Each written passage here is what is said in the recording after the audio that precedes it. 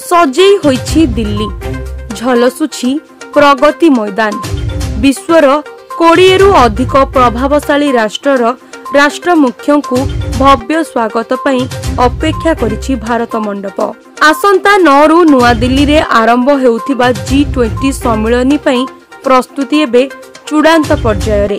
G twenty ବୈଠକ ପାଇଁ ଦିଲ୍ଲୀରେ ଏକାଠି ହେଉଛନ୍ତି ବିଶ୍ୱ ନେତା ଗୁରୁବାର ଆମେରିକା ରାଷ୍ଟ୍ରପତି ଜୋ ବାଇଡେନ ଭାରତରେ ପହଞ୍ଚିବେ କିନ୍ତୁ ଚୀନ ରାଷ୍ଟ୍ରପତି ଜିନପିଙ୍ଗ ଏବଂ ରୁଷର ପୁଟିନ ଜି ଟ୍ୱେଣ୍ଟି ସମ୍ମିଳନୀରେ ଯୋଗ ଦେବେ ନାହିଁ ବୋଲି ପୂର୍ବରୁ ସ୍ପଷ୍ଟ କରିସାରିଛନ୍ତି ଦୁଇ ଦିନ ଧରି ହେବାକୁ ଥିବା ଏହି ବୈଠକରେ ଆମେରିକାର ରାଷ୍ଟ୍ରପତି ଜୋ ବାଇଡେନଙ୍କ ସମେତ ବହୁ ରାଷ୍ଟ୍ରର ନେତା ଓ ପ୍ରତିନିଧି ଯୋଗ ଦେବେ।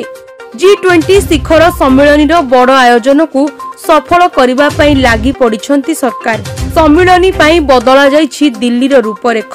ଅତିଥିଙ୍କୁ ସ୍ୱାଗତ କରିବାକୁ ହୋଇଛି ସ୍ୱତନ୍ତ୍ର ବ୍ୟବସ୍ଥା। ରାସ୍ତାଘାଟ ଠାରୁ ଆରମ୍ଭ କରି ଦର୍ଶନୀୟ ସ୍ଥାନ ହୋଟେଲ ଆଦିକୁ ସୁନ୍ଦର ଭାବେ ସଜାଯାଇଛି।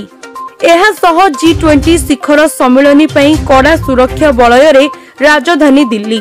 ସୁରକ୍ଷା ପାଇଁ ଏକ ଲକ୍ଷ ତିରିଶ ହଜାର ଯବାନ ମୁତୟନ ହେବେ। ପଚାଶ ହଜାର ପୋଲିସ ଏନ୍ଏସ୍ଜି ସିଆର୍ପିଏଫ୍ ସିଏପିଏଫ୍ଆର୍ ଅଶୀ ହଜାର ଯବାନ ସୁରକ୍ଷା ଦାୟିତ୍ୱରେ ରହିବେ। ଜି ଟ୍ୱେଣ୍ଟି ସମ୍ମିଳନୀ ପୂର୍ବରୁ ମକ୍ଡ୍ରିଲ୍ କରାଯାଇଛି। ଜି ଟ୍ୱେଣ୍ଟି ଶିଖର ସମ୍ମିଳନୀ ପାଇଁ ବିଦେଶରୁ ଭାରତ ଆସୁଥିବା ଅତିଥିଙ୍କ ଭୋଜନ ପାଇଁ ରୂପା ତିଆରି ବାସନକୁସନ ତିଆରି କରାଯାଇଛି। ଅତିଥିଙ୍କ ଭୋଜନ ପାଇଁ ଯେଉଁ ସବୁ ବାସନକୁସନ ବ୍ୟବହାର କରାଯିବ ତାହା ସବୁ ରୂପାରେ ତିଆରି ହୋଇଛି। ଆଉ ସବୁ ବାସନକୁସନ ଆମ ଦେଶର ଐତିହ୍ୟ ପରମ୍ପରାକୁ ବହନ କରୁଥିବା ଭଳି ସ୍ୱତନ୍ତ୍ର ଭାବେ ପ୍ରସ୍ତୁତି କରାଯାଇଛି।